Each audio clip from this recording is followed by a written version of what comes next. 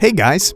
In this video tutorial, I'm going to show you how to recover deleted photos from a hard drive or other storage media. Launch Recoverit. Then we will select Deleted Files Recovery, Data Recovery Mode, to perform a deleted photo recovery. Select the location where your photo was lost, and click the Start button to continue.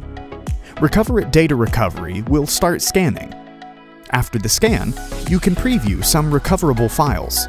If you cannot find your data, you can scan again with All-Around Recovery mode. It will scan more deeply and search more files, but it will take more time to complete the scanning process. Finally, you can preview the recovered photos.